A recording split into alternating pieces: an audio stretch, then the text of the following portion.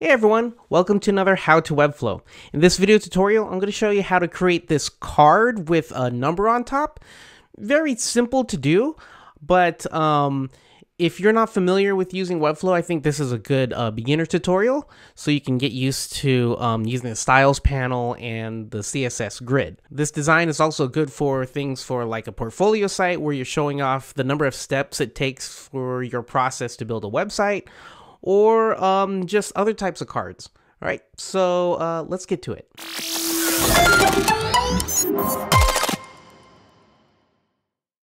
All right, so I have a container here, nothing too special.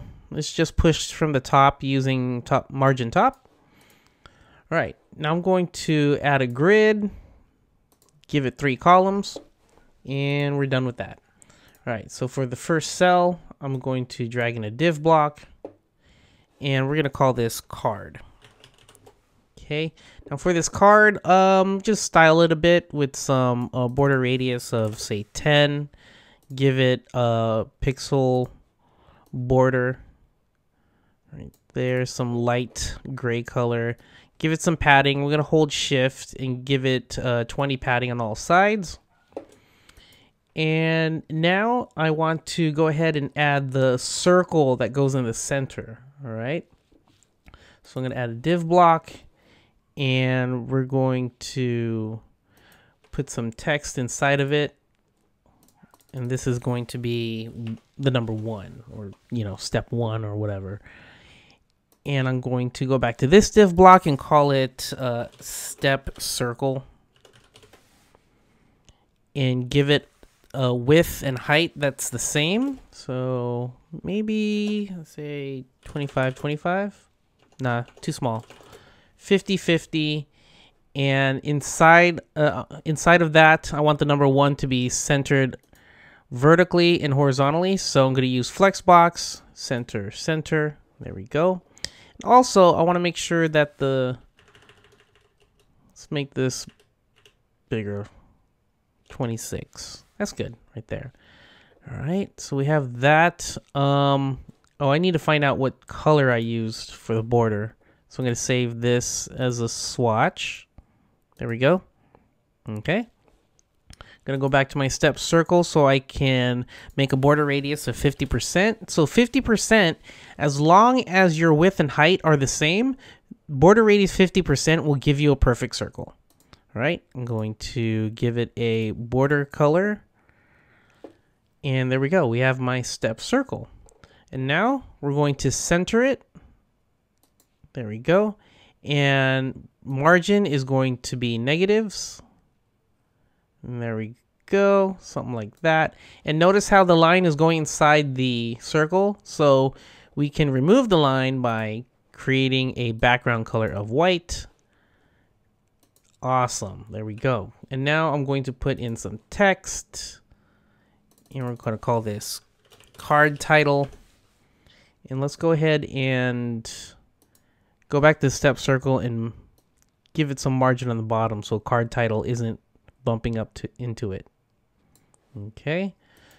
Call this card title. And we're going to make this bold and we'll make this the biggest thing to see. All right. There we go give it some margin on the bottom. And now I can put like a paragraph of text. Maybe card title should be centered. Yeah, there we go. And what I can also do is add some padding inside of it so I can add a border bottom. Something with a, probably choose that color. Yeah, there we go. Uh, maybe push it out out a little bit more. Something like that. Yeah? Cool. And so we have this card, and if I copy and paste it, paste it, paste it, paste it, paste it, there we go. And it seems like this is bumping up with this, so what I can do is go to my grid and drag this down and press done. And there we go. And all I have to do is just change the numbers, change the text, just go to town. All right. Oops. Five. What's after four? Five. Six. All right. Now, what does it look like for um, for responsive? So if I go here, all I have to do is go to my grid. And if I don't like three columns, I can just delete one column. And now, there we go. And I can even make the gap in the columns a little bit more, bigger. And if I go here, I can set this to one column and also add some padding. There we go. And there we go. So this is good for like portfolio sites where you're like, um, here's my process. Step one, two, three, four, five, six, you know? Uh, and it's fully responsive. And yeah, there you go. So that's how you make cards with step numbers. Hope this helps.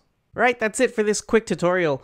Uh, let me know what you think about it in the comments below, or if you have a suggestion for a future tutorial, I'd like to hear about it. Leave that in the comments too.